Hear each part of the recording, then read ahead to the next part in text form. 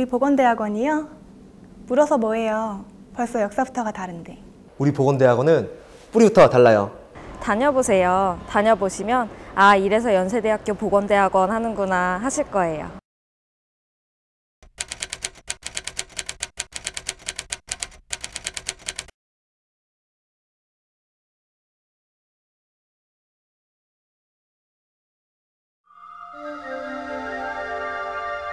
As a medical missionary, Allen sought to introduce and establish Western medicine and hygienic practices in Korea. On December 4, 1884, Min nephew to Queen Minbi, sustained life-threatening injuries during the Kapsin coup. Using Western medical technique, Allen saved the life of Min Young-ik, and with these experiences proposed the founding of a new hospital to the Joseon government, sponsored by King Gojong. The first Western-style hospital in Korea was established. Within the following year, a cholera outbreak would spread from Busan throughout the country. To fight the outbreak, Allen and doctors from the Jejungwon stressed the need for better public health to the Joseon government and dedicated themselves to caring for patients stricken with the disease. From an American missionary, the history of Korean public health began. Still, there is another who cannot be forgotten medical missionary Avison, who came to Korea in 1893.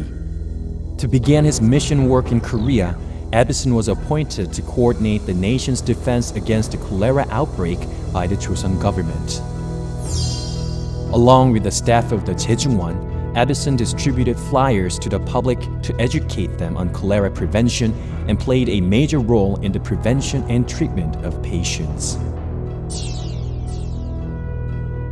With these efforts and more, hygiene began to become more established in Korea. And finally, Kim Chang-se, graduates of Severance Union Medical College in 1916, becomes the first Korean to obtain a doctorate in public health in the United States in 1925. With his degree, Dr. Kim returned to his alma mater to lecture on health and hygiene. Throughout the Japanese colonial period, many professors continued to lecture on bacteriology and hygiene. In this way, the history of public health in Korea is forever linked with the Department of Hygiene at Yonsei University College of Medicine. The past 40 years of the Graduate School of Public Health, Yonsei University sprang from unique beginnings to deeply rooted in history. 모든 국민은 건강을 누릴 권리를 가지며 국가는 이 권리를 누릴 수 있도록 해줄 의무를 지닌다. Professor Yang Jae-mo, who founded the Graduate School of Public Health in 1977, was a pioneer in the development of public health professionals and the field of public health in Korea. 그러니까. 우리나라가 과거에 그전 세계에서도 가장 미개하고 그 저개발 국가에 속했었는데 그 당시 우리나라에서 가장 필요했던 것이 그 전염병 관리라든지 기생충 관리라든지 이런 기초적인 문제였었거든요. 그것에 전념하게 되면서 굉장히 많은 보건 전문가들을 필요로 했어요. 그래서 보건대학원을 설립하게 된 거죠.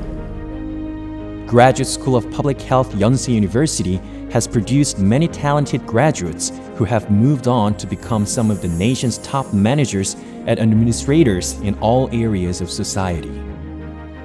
The Graduate School of Public Health at Yonsei University participates in promoting national policies and national health projects. Past efforts to promote family planning were a great success. In 1961, various studies were conducted to support the proposal of social security systems. In 1988, the National Council on Smoking Cessation was established to reduce smoking rates. The executive program seeks to cultivate the abilities of healthcare administrators and medical leaders. The Institute for Health Promotion aims to bolster academic research on health and epidemiology. With this spirit, since 1980, the Hospital Management Division has focused on nurturing hospital staff in Korea and conducting hands on training and seminars in hospital administration. Global Health Division provides quality health education to students from developing countries either directly or over the internet. Epidemiology and Health Promotion Division maintains a large scale cohort to support epidemiological studies, health promotion, and health education. Health Informatics and Biostatistics Division has played a leading role in integrating and developing the Korean Health Informatics Society and the Biostatistics Society. Occupational Health Division seeks to improve working conditions and health problems industrial workers face. Environmental Health Division continues to promote studies of national policies and environmental issues.